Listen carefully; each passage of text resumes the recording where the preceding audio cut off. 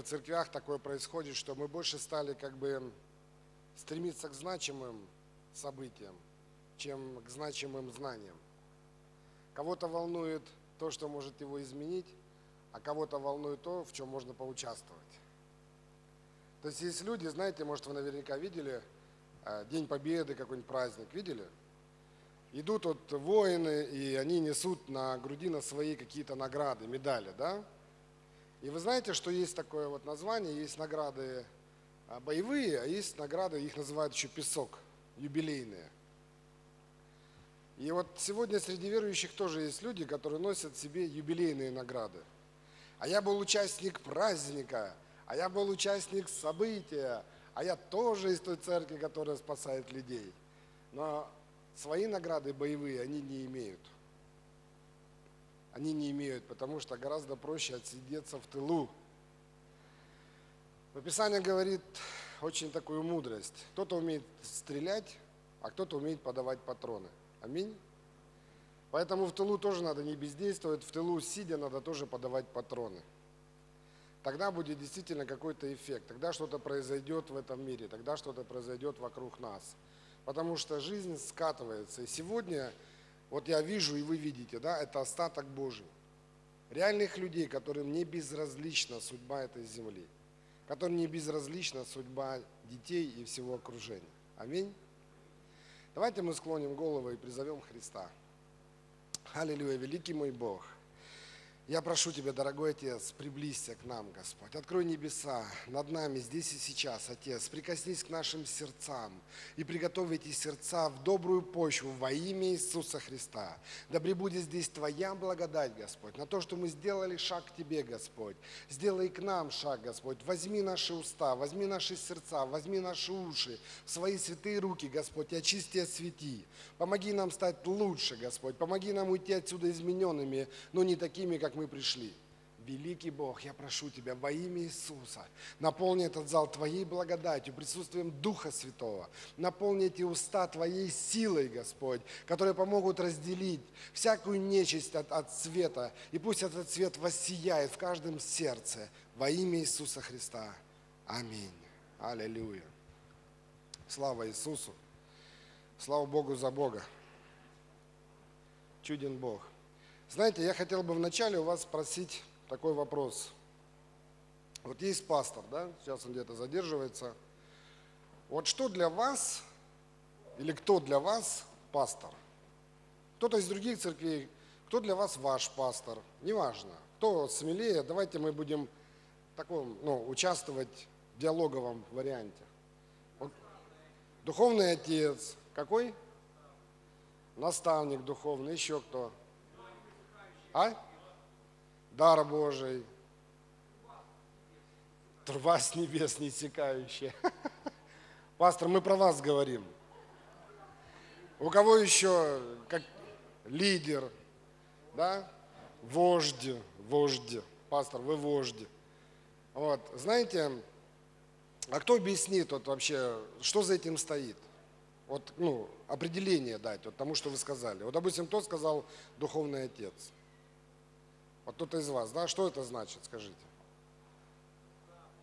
Наставник, пример, пример для подражания, несущий слово. Тот, который любит, все время что-то дает. Ясно.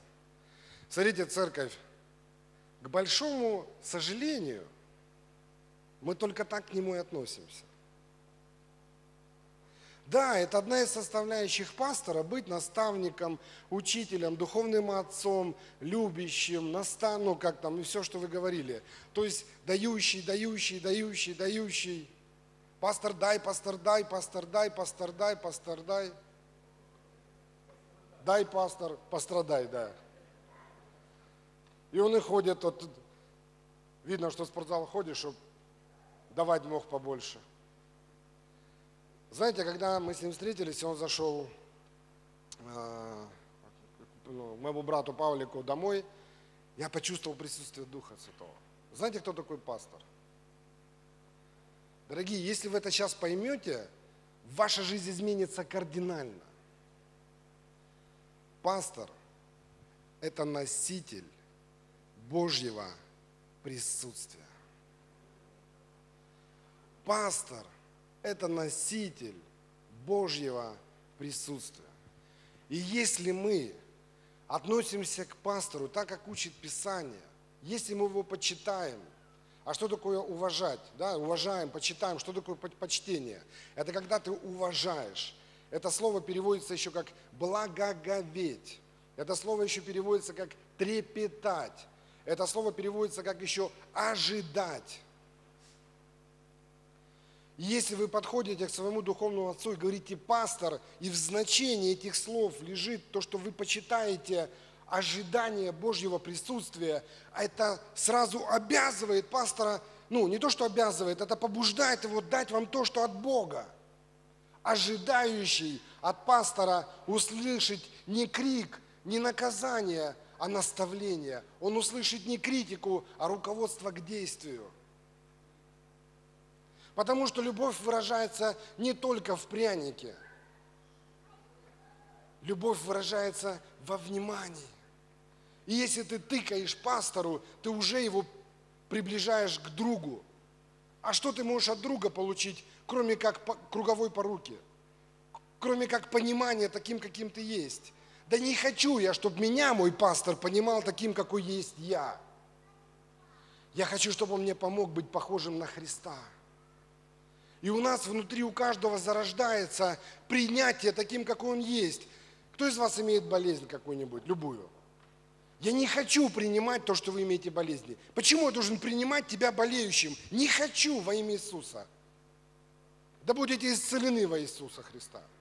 Я не хочу воспринимать глупого глупым. Я не хочу воспринимать безумного безумным. Я не хочу воспринимать невежу невежей. И когда вы тыкаете пастору, вы его приближаете к себе, заставляя его воспринимать вас тем, кто вы есть. Но когда мы благоговеем, когда мы трепещем, когда мы в каждое слово, обращенное к Нему, создаем некий вакуум, то есть притяжение к себе Божьей славы, как бы пастор не был уставший, как бы он не был раздражен – вызывается Божья благодать и приходит ответ, который может кардинально изменить вашу жизнь. Потому что только тот ответ, который является руководством к действию, является исторически важным. Но когда вы приходите к другу, он вам скажет, ты молодец, ты сможешь.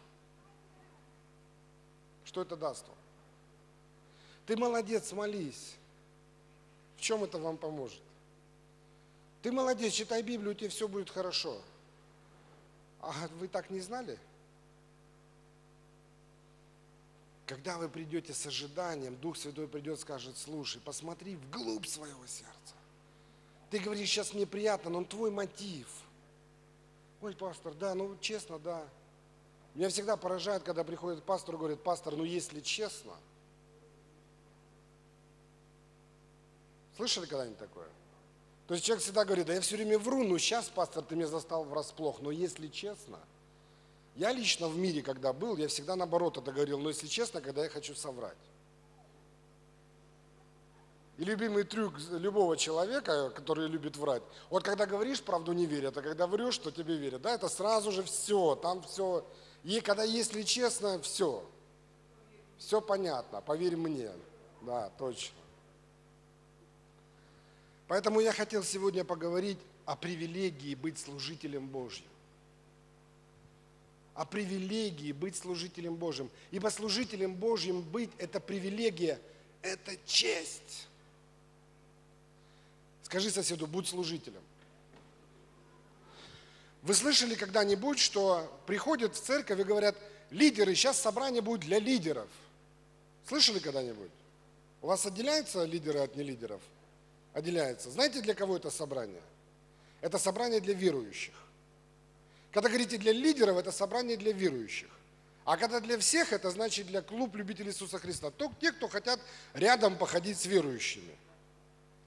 И Бог сказал, не вы меня избрали, а я вас избрал, чтобы вы приносили плод. И плод ваш пребывал. И плод ваш пребывал. Можете ли вы, индивидуально сея Евангелие, убедиться в пребывающем плоде? Что такое служение? Служение – это проектное отношение. Это отношение от начала до конца, это отношение в виде проекта, это не удовлетворение частным выхватом, каким-то щипачеством. Вас же не устраивает зарплата на работе, сегодня шеф захотел, дал рубль, завтра захотел, дал сто. Не устраивает же, да? Почему мы служим сегодня именно таким образом?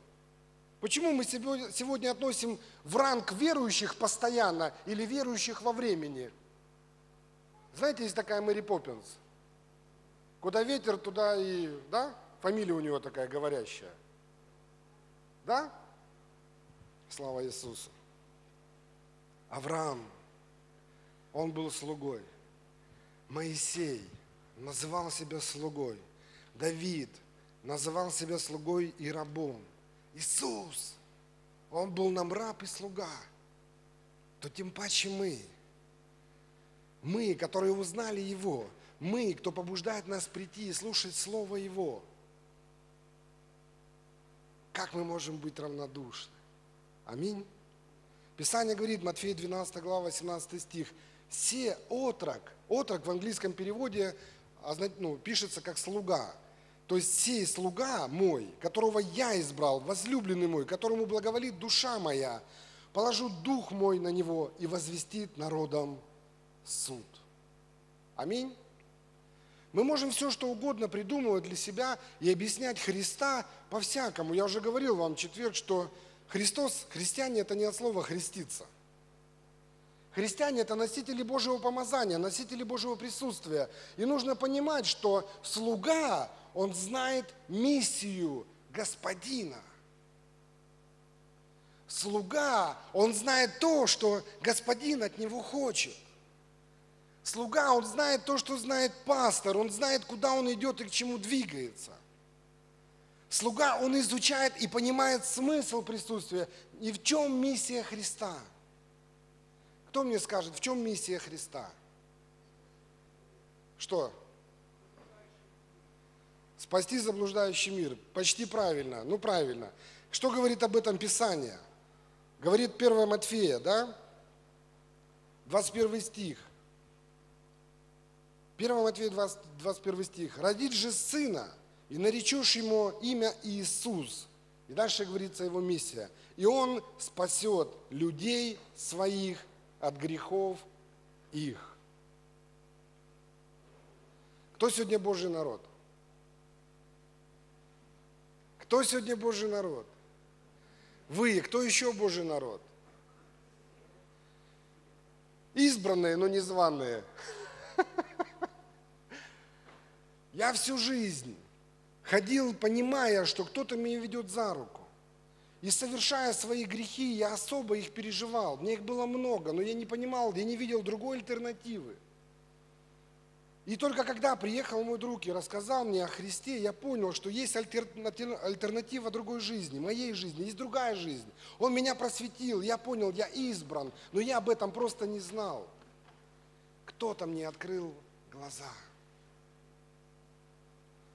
Сегодня церковь, к сожалению, относится к церкви как к Сиону, на который можно залезть и свесить ноги и отдыхать уже. Все совершилось, все. Бог, когда придешь, и так ради подражания кричать, гряди, Иисус, гряди. Я иногда, когда это слышу, говорю, Господи, дай ему мудрости покаяться. А ты готов. А ты готов к встрече со Христом. Пастор, когда услышал от меня такую речь, один из одной церкви, подошел ко мне говорит, слушай, ты что-то тут перегибаешь. А так как-то так получилось, что микрофон был включен, а он на нем вот здесь висел. А он его забыл выключить. Я говорю, пастор, ответь мне честно, вот сейчас вот тут Бог стоит. Если он возьмет и проявится перед тобой, вот так возьмет и проявится, покажет тебе раны, ты вставишь туда пальчики, поковыряешься, да, туда-сюда, покажет тебе рану свою, посмотрит тебе в глаза, твоя жизнь изменится. Он говорит, конечно. Я говорю, вот тоже. Я пошел. Он стоял минут десять. До него дошло, что он сказал. Дорогие мои, если сейчас Иисус прикоснется к вам, возьмет вас за руку, ваша жизнь изменится. О, великий Бог.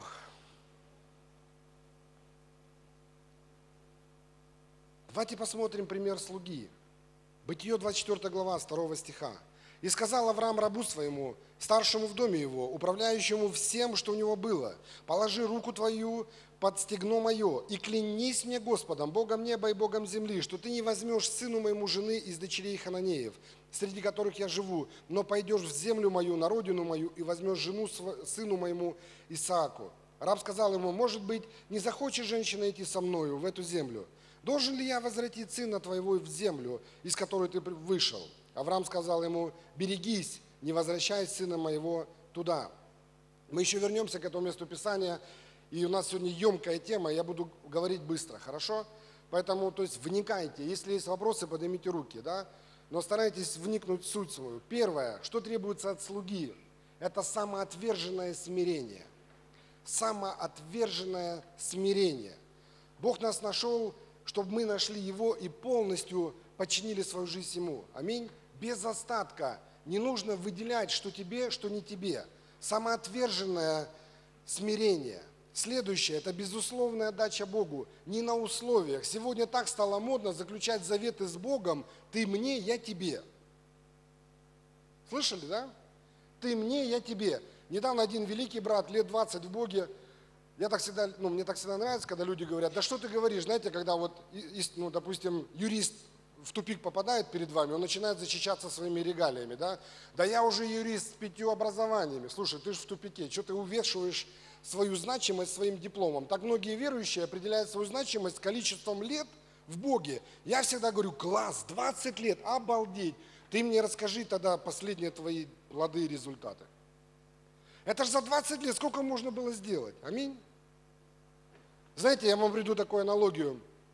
Как-то еду со своим дедом, сегодня он уже с Богом, и э, я за рулем, он справа, и он говорит, слушай, ты там не так подрезал, ты там не так перестроился, ты там не так, ты тут гонишь, тут не гонишь. Я останавливаюсь, говорю, дедуль, говорю, садись за руль, говорю, а я буду балдеть, да, то есть, а ты едь, как ты знаешь, я вот, мне в радость, то есть без проблем, не претендую. Он, да ты тут мне, это самое, говоришь всякие глупости, вот мои права, мне 35 лет стажа, а ты только там год назад или два получил права. Я говорю, дед, я говорю, сколько ты проехал километров за твои, свои, свои 35 лет стажа? А мы ехали на его машине. Он говорит, ну он, смотри, на спидометре есть, как купил от начала, так и сейчас верен своей красавице. Я там присмотрелся, пыль протер 40 тысяч километров. Я говорю, дедуль, я машины гонял, это до машины гонял, с Германии. Я 40 тысяч проезжаю за полгода. И если моим правам три года, я несколько твоих жизней проездил. Что определяет, стаж или пробег? Что определяет, стаж или пробег? Пробег.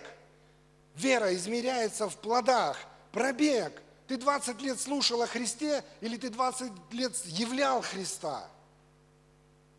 Кто ты сегодня? Явитель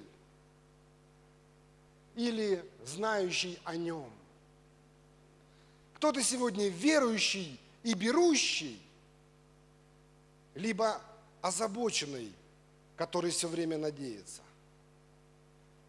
Я много встречал верующих, которые 20-30 лет в Боге, и они до сих пор озабочены своей проблемой. Они до сих пор, им Иисус не ответил. Я не понимаю, неужели не хватает у нас серого вещества, данное от Богом, чтобы понять, если это невкусно, то можешь его с другой стороны попробовать.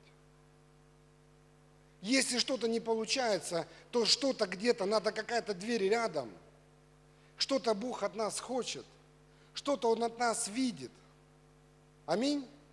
Что такое проблема? Мы будем с вами говорить в следующем блоке, но я немножко сейчас скажу. Проблема – это доверие Бога.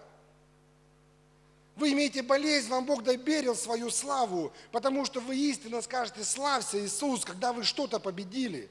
Победы без препятствия не бывает. И кто-то мне говорит, что как трудно служить Богу. Я не знаю. Я, может, не так много служу Богу. Вы будете удивлены, может быть, сколько я в Боге. Я всего в Боге пять лет. Я покаялся, и с первого дня я стал служить. Я купил стулья и начал им проповедовать. Я купил книжку «Первые шаги с Иисусом». Учил первый урок, вечером я им выдавал пустым стульям. На третий день пришли два наркомана и заходят, говорят, а здесь наркотики дают. Я говорю, здесь, заходи, налью.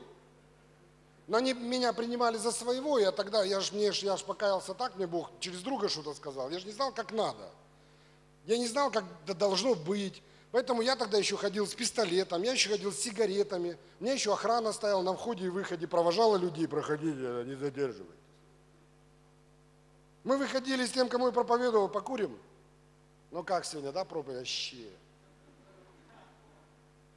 И люди исцелялись. Через месяц, когда мне пригласили в Питер на конференцию, я там тоже так с сигареткой, мне говорят, ты не заметил, верующие не курят?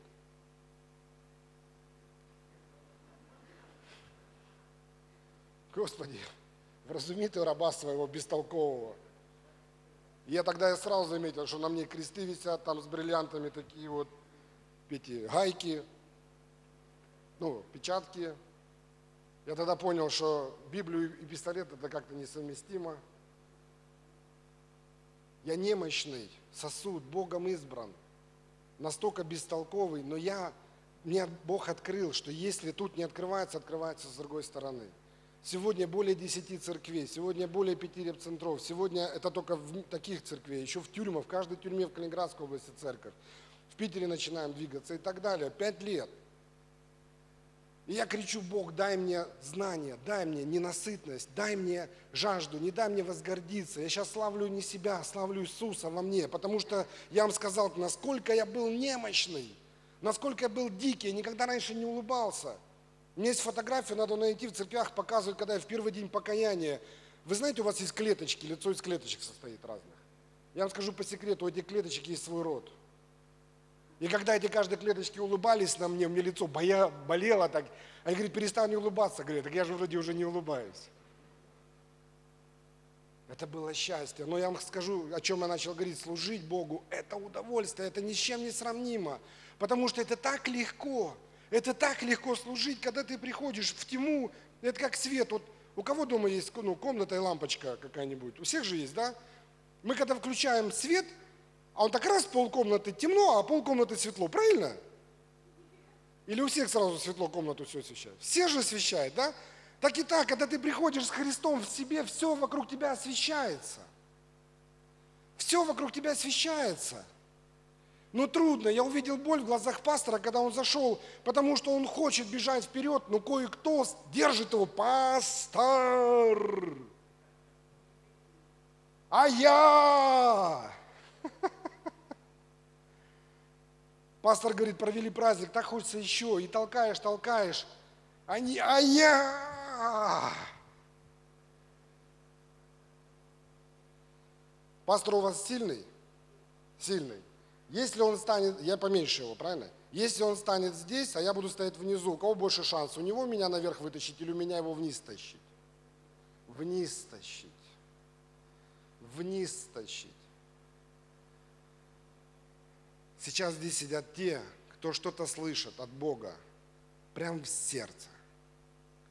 Пришло время покаяться. Пришло время видеть, куда идет пастор, а не видеть, что он тащит за собой. Лебедь, рак и щука, видели картину Репина, да? Ну я шучу. Лебедь, рак и щука тащат возик в разные стороны. Да? Возик на месте. И кое-кто меняет обстоятельства. То же самое лебедь, рак и щука тащат тоже возик, также в разные стороны, но зимой. Понимаете, о чем речь? Мы пытаемся изменить вокруг себя обстоятельства. Мы пытаемся изменить в себе мысли – Потому что Библия говорит, каковы мысли такого человек. Мы очень хорошо это понимаем. И что человек пытается? Он пытается накачать себя новыми мыслями. Не отдавая себе отчет в том, что он будет принимать только то, что позволяет ему его мысли. Человек будет отфильтровывать все, что выходит за пределы его понимания, потому что познание есть присвоение информации. И информация присваивается избирательно. И все, что выходит за пределы понимания, отфильтруется. Поэтому нет шанса изменить жизнь, пока ты не начнешь действовать. пока ты не выйдешь за зону понятной тебе территории, пока ты не свалишься за зону комфорта, пока ты не выйдешь за пределы обычного, типичного понимания жизни. Ты ездил на маршрутке, проедь на такси, ты питался в столовой, покушай дома, ты ел дома, сходи с женой в ресторан. Я не знаю. Ты проповедовал только здесь, в этом самом, выйди на крыльцо. Каять людей так легко. Люди жаждут. Вот вчера мне моя церковь присылает сообщение, план, анализ. Каждый лидер каждый день присылает план, анализ. Они отчитываются вечером. Проходил по парку, покаял столько. Проходил, там другая девушка пишет, пастор, она первый раз пошла каять людей. Говорит, так боялась, так боялась. Еще парню проповедовал, он меня, говорит, отправил очень далеко куда-то, непонятно, такие слова, говорит, забыла, но куда-то далеко. И я, говорит, так обиделась, расстроилась, все, хватит проповедовать, пошла домой. Он, говорит, меня догоняет – начинает плакать, да хочу я Христа, хочу, говори, что надо делать, хочу я Христа. Говорит, пять человек покаяло. Полчаса в парке прогулялась. Мы из этого делаем ритуал. Мы из этого делаем обряд. Пастор, благослови. И пойдем с нами. Ты начинай, а мы за тобой будем подбирать. Где наша индивидуальная ответственность перед Христом? безусловная отдача Богу, послушание во всех делах Божьих, знание, что путь будет нелегким. Слуга говорит, мы читали, да, что путь будет нелегким. Он знает это. Но а для чего Бог вам говорит, что бремя, оно легко, не, ну, оно легко Божье, но будут трудности, да? Будут трудности, будут гонения. И в первую очередь всегда читайте между строк. Оно будет гонение с какой, с какой стороны? С тех, которые ноги свесили. В мире нет гонений почти. Там уж надо так нарваться, чтобы тебя гнали в мире, что вообще там нет, ты везде ответ, куда мы не приходим, куда не приедешь, брать, говорят, о, в Питер приехали, мы, нас в тюрьму не пускают, туда не попасть.